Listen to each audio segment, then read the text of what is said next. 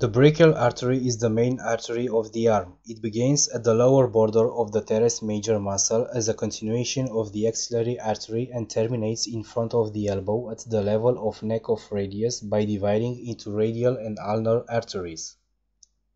The first and largest branch from the brachial artery is profunda brachii artery. It arises just below the lower border of the teres major. It accompanies the radial nerve with which enters the spiral groove on the posterior surface of the humerus. The profunda brachii gives two terminal branches, the medial collateral artery which descends posteriorly to the lower part of the humerus, and the radial collateral artery which descends anterior to the lateral epicondyle. Before splitting into those two terminal branches, the profunda brachii also gives off a nutrient artery to humerus and a deltoid branch. Besides the profunda brachii, we have two more branches from the brachial artery. Superior ulnar collateral artery which arises near the middle of the arm and accompanies the ulnar nerve posterior to the medial epicondyle.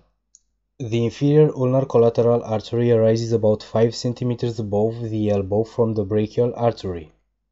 One of its branches winds round the back of the humerus between the triceps brachii and the bone to anastomose with the profunda brachii. Another branch from the inferior ulnar collateral descends in front of the medial epicondyle. To complete the diagram of the anastomosis around the elbow joint, we will also draw the branches from the radial and ulnar arteries. From the radial artery we have the radial recurrent artery which ascends to anastomose with the radial collateral in front of the lateral epicondyle. From the ulnar artery we have the following three branches.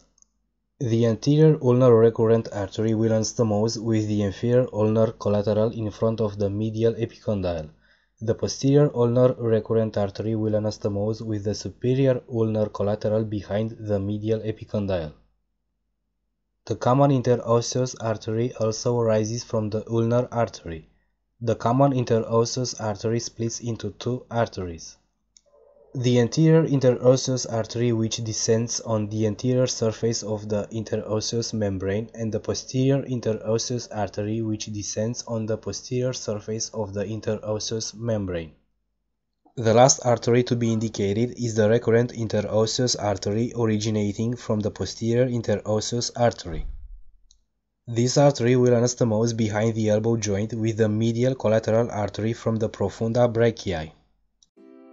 That's all for today, I hope you enjoyed this drawing, see you next time, bye!